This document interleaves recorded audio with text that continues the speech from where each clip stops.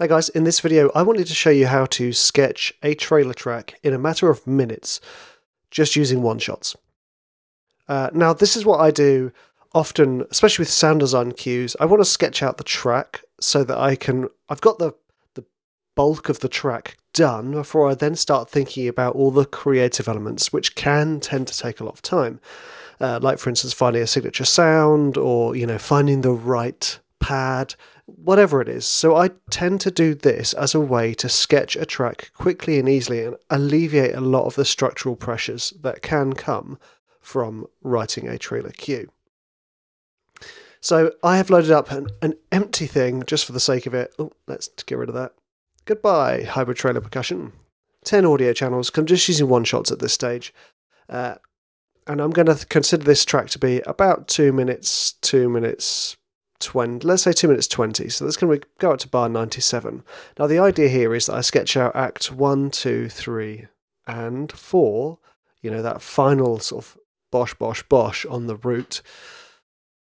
Nice and quickly. I'm going to use my collection of free samples that you can download uh, on my website at richardpryn.com forward slash toolkit and maybe some other freebies as well. Uh, but the purpose here is that we have a, co- a collection of tools that you can use to sketch out a track real quick. So let's get started. The first thing I'm going to do is I'm going to import some sounds. Uh, I'm going to start from Act 1 and work that way, Act 1, 2, 3, and 4. And what I want to start with is a low sub boom. Now this is oh, this is the idea is that I think about my track in terms of growth, even in this stage. So I start with less information. So in this instance, we start with a nice sub boom to kick us off. And then as we progress, I'm going to add more and more. So just as a mere matter of marking the track, we want to go, let's say, about 30 seconds, we're going to drop another boom there. I can, the thing is, I can move all of this later on, and I'm going to put a boom right at the end. Because I don't want any of these sub heavy booms to be throughout the rest of the track, because the bigger hits I'm going to use are going to have all of that information anyway. Boom. Done. Okay, track is essentially sketched. Done. No, joking. Uh, now I need to import some other stuff oh, blimey, where was I? Desktop, Richard's Trailer Music Toolkit in the sample pack. I've got a boom. Now I want to start thinking about other hits. Now this is all, there we go. Huge trailer hit, Slam of the Undead, Swish hit, trailer hit and downer. I'm going to use the get the trailer hit and downer. Here. There we go. I pressed the wrong button. course I did. Trail hitting down under. This one's a bit of a beast. Uh, this is in uh, another one of my trailer music toolkits. This one is part of a collection of 60 trailer hits, uh, which will be available on my shop. I guess you call it shop, my store, my products, products.richardpryn.com uh, to buy. So I'm going to use this as my marker for between Act 2 and Act 3 uh, because it's a nice big hit and, you know, that's kind of where we want the downer to be. Uh, and I'm going to chuck it in here. Spew! Job done. Hit and downer. Okay, next one. Let's keep on importing. I'm going to grab this swish hit. This was one of my own creations. Uh, I'm going to bring this in from my Act 2. It's quite a, a drum heavy one. It's not like a huge hybrid hit at all, which, you know, you don't necessarily need those big hybrid hits all the time. But this because this is quite a percussive sounding one, i.e., it sounds like a load of drums rather than like an explosion in your ears. I'm going to be using this regularly. So every, say, for four bars. Every eight bars. Let's go every eight bars. I'm not I'm not concerning myself too much about how this track is going to be developing. Because the idea being that I just sketch it nice and quickly. And okay, so is that too long? Have I gone too long? Four, eight, four, ah, there we go. Ta da! And these ones, ta da! There we go. And then this is going to be, just for the sake of it, this is going to be act four, boom, boom, boom, and then one final sub boom. So you can kind of get the feel for what I'm doing now. And if you if you can't visualize what I'm doing f- from what I'm doing, uh, I'm just going to draw in some regions. I I know I know I could use markers, guys, um, but I'm still such a fan of regions. Just love a region. Okay, so this is essentially my Act One. I mean, we could say it like this. This is Act One, and then we've got Act Two. Hello. Hmm. Act 2, and then we've got Act 3 up here. This is kind of what I'm thinking.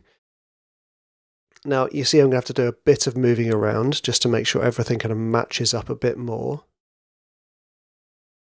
There we go. So that's Act 1, this is Act 2, and then we've got the drop down to Act 3, then we've got Act 3 coming in about here, and then we've got Act 4 coming in here which will be marked with. Ah. Oh, yeah, I've taken off the marquee tool. There we go. Now that's kind of the shape of my of my track. Act 1, Act 2, Act 3, and then we've got this final Act 4. And I'm just bringing this together with hits and stuff so far. Let's keep on going. I want to see if I can get a bigger hit going on. What's this huge trailer hit? Nice. That's kind of more like the trailer hits we're, we're used to. Um, I might use that a bit more often, actually. Drop that one down a bit. Cool. That sounds like a nice marriage, actually. Every two, and then here it's going to be one, and then we're going to repeat it. I might EQ these a little bit, but at this stage, I don't really care. I just want to get this sketched out. Because the thing is, at this stage, we're not. This is like sketching with a pencil. It's nothing. Uh, we're not trying to get all the details in here. We're kind of getting all the gestures. And then we'll just call that huge hit, which I believe again is part of the. It you can get this one for free in the free toolkit. It's all part of the bigger kit as well for 60 hits. Uh, and Slam of the Undead. I think this is.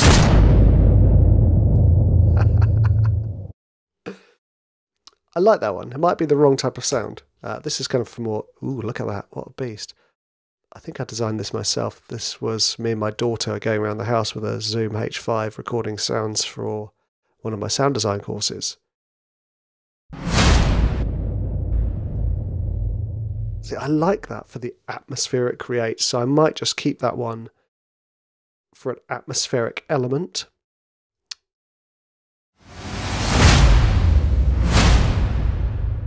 Maybe I'll check that at the end. There we go.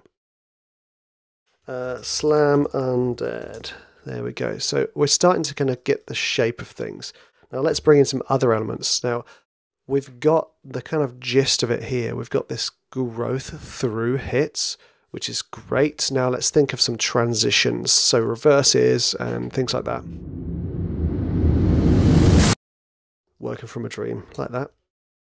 Okay, so this is going to come in. I think this should go transition into Act 2. I might take it to the. Let's take that last bit off.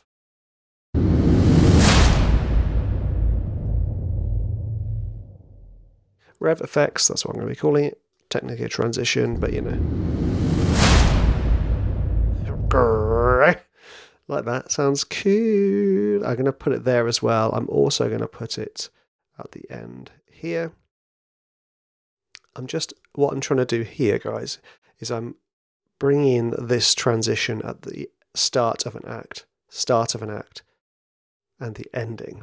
Okay, I could bring it in earlier and I could put it in more places, but at this stage, like I said, it's it's sketching. Return from the undead. Okay, that's that hit. Oh, I like this one. Let's use that. That's awesome. That's definitely sounds like something I should be using. Uh, oh, okay. So we want to bring this in. I think I might use this solely in Act 3. Let's see. And again, chop this off at the end. Cool. So we've got two elements here. We've got this this element which I'm using here, and also we've got this element between the acts two and three, and I might actually just move a lot of this. One more bar just to give it that much more room to breathe. So this is another trick I often do. So you've got, you see me, I've cut this transition in half. Uh, and we have this leftover little chappy over here. With the kind of gentler aspect of the transition, I often use that for the end of Act 1.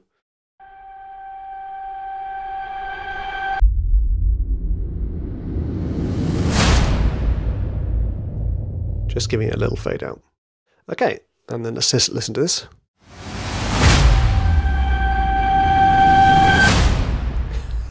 That's brutal and cool. I like that a lot. I'm going to put that there at the end of Act 4.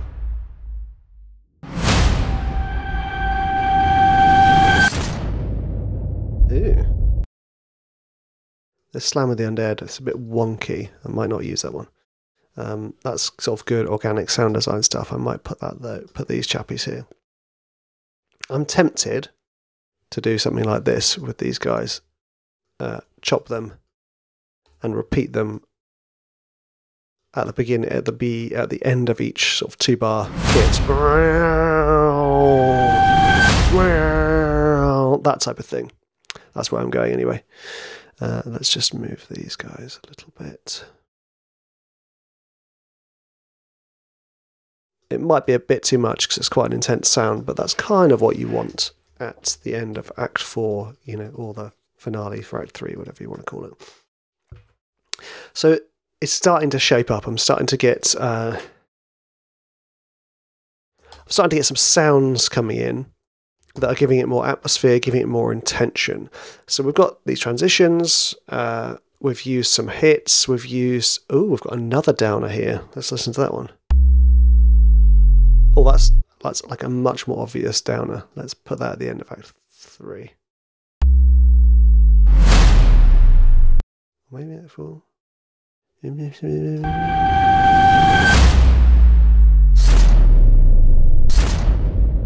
Yeah, that's it. I'll chuck it there. Downer. Okay, let's keep going. Um, again, this is all. These are all the free kits and hits. Uh, Oh, indeed. So let's have a listen to this breath.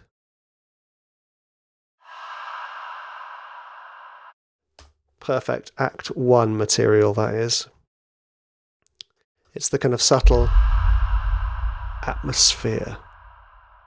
Atmospheric breath. Cool. Tempted to put that in again.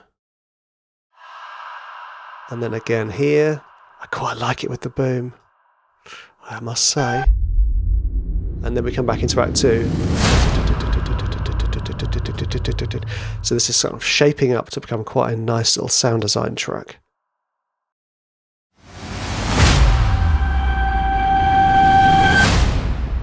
Cool, I like that. And then I'm going to chuck it at the end here as well. It's going to become like a almost signature breath. Let's keep going. I think there might be some more interesting sounds going on here. Got, got that, that breath was me, by the way. nice. uh, pings. Thor's tiny hammer. Ah, okay, so that was the sound that I reversed to create the ringing in my ears transition. Now that Thor's tiny hammer, this is me and my daughter recording this, is on our windows. When you close the window, the spring clicks into place and loosens, and it does this great ping, like great ping, and that's the that's the sound of it being messed up. So what have we got? Uh, okay, so we've got some plucks and we've got some braams. Classic. Okay, I'm going to use these braams and I'm going to also change this violin E to a D just to kind of keep it in place. Let's start with the let's start with act 1 right. I'm not going to chuck that in straight away because I don't want to give away all of the goods.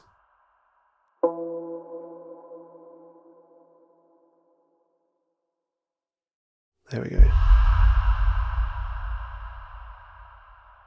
And then I think I might use that every four.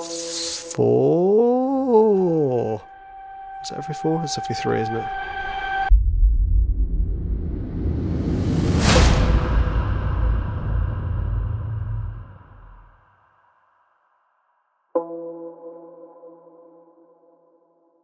So you can tell Act 2 at this stage is quite spacious.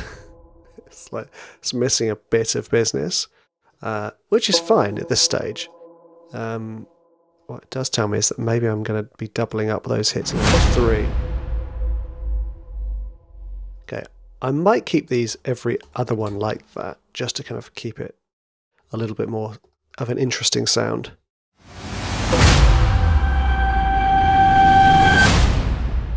There we go. I love that. That that sounds like a brilliant, brilliant stop down. Now I've just noticed this pluck is a little bit late, so let's just move it here and move all of them there, which we might be able to hear better now. Oh, or maybe my hit is a bit. Ah, my hit is late, isn't it? Die. That's better.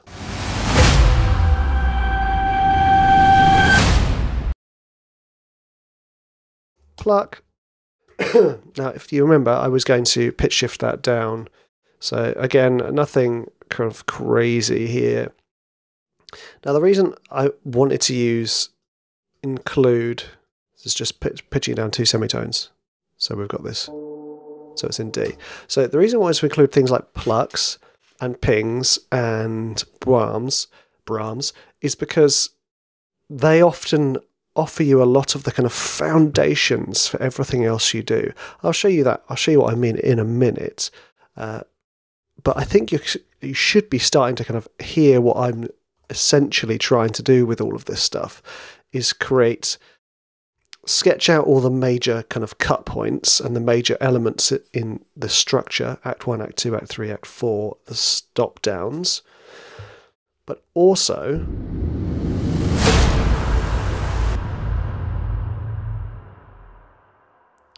giving it some kind of life and some kind of atmosphere. So if any of you, any of you ever watched bob ross painting?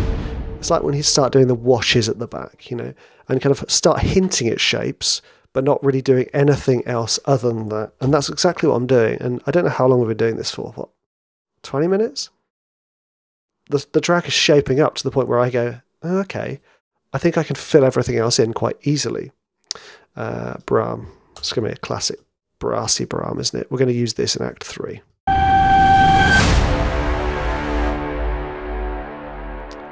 Nice. Like that. And I also like hearing this transition.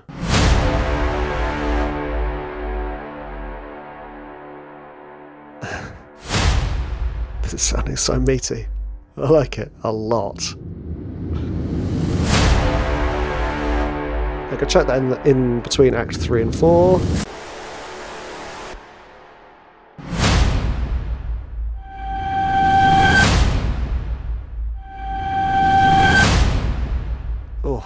Sounding rather aggressive. I do like it though. So I might, you could chop this up as well. Oh. Let's have a listen. Let's just move this here and cut it at playhead. What I mean by that is just, you're just sort of snipping these so that they're kind of like really obvious samples.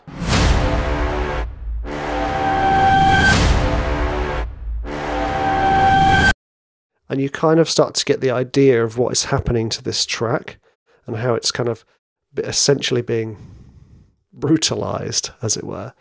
Uh, there we go. Let's put these transitions in there. I feel like I'm missing something. One, two, three, four. Oh, there's a fifth one. That's why. Take those out. And then we're going to go. And then it's the ending. So all of this is shaping up really, really nicely. And I hope you can start to th- hear how this creates the world that you're going to write your track in. So, just an example, I'm going to show you how you could take this. So, we could go down the action sound design route a bit more, and we could load up some bass samples. So, what I'm going to do here is I'm going to go into my sample libraries folder and open up some Keep Forest. Ooh, Keep Forest, there we go. Uh, this one, Warzone. I think this is the one I like. Yeah. Uh, we're going to load up some bass and we're going to just think about how we can use this bass now as a way to kind of fatten this out and give it some new sounds. Uh, let's just have a listen to this. Nice. Okay, we're in D. I wonder if there's any bass samples in D. I know I can shift it, but.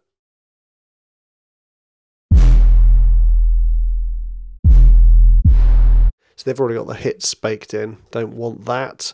Uh, ooh, brass and stabs. D sharp. Mm, orchestral. Let's go distortion bass in D.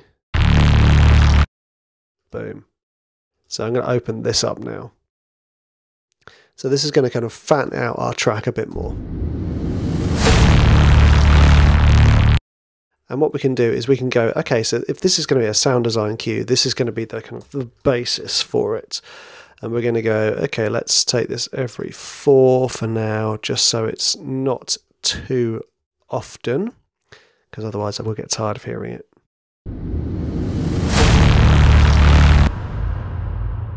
And I'm just going to add a little fade out on the end of those. Bass! Okay. So we're getting the picture of it here. And now you could take that one step further and go into, okay, well, if I'm going to do this, I'm going to ca carry this on into Act 3.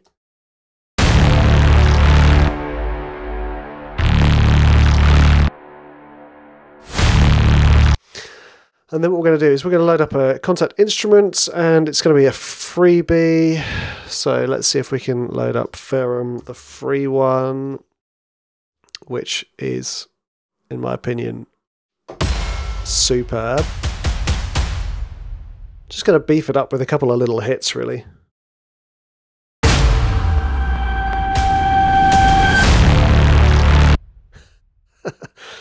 I can't even hear the click. Damn it. There we go.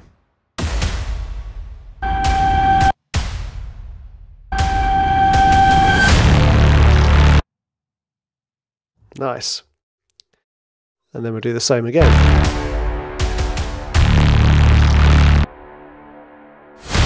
I'll do every other one like that. And then we start and then we can start to bring in some rises if we want, you know.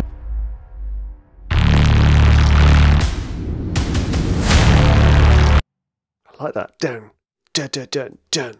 It's cool.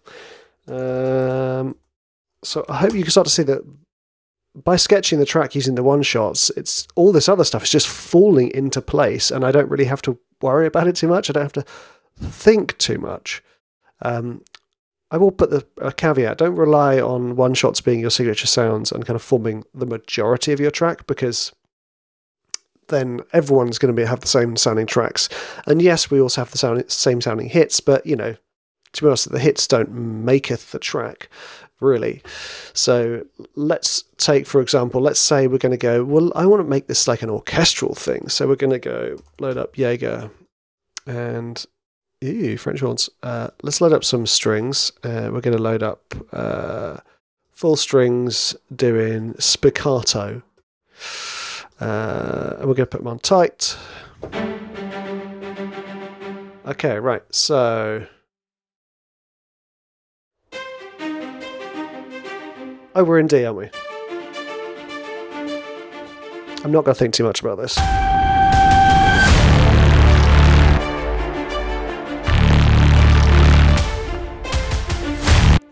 Something like that, although I don't like that C at the end of it.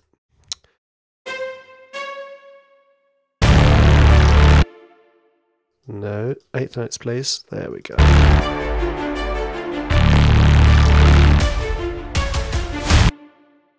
Although, to be honest, I think this would probably go into here. Uh, but what I'm going to do is I'm going to jump that up an octave and I'm going to just create a little rhythm down here.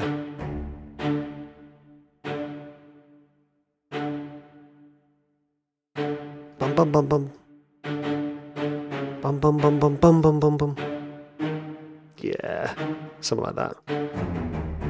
I don't often use all string sample patches, but in this instance, it kind of helps. All I'm thinking is just like, what can I do to kind of give this drive and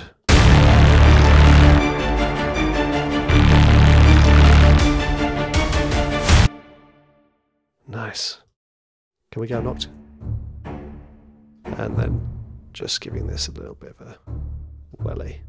Not sure I like that kind of uh, the uh, E flat on that little riff. I might just move that. Holding down shift. There we go. So which means I can then double these because there won't be that weird clash.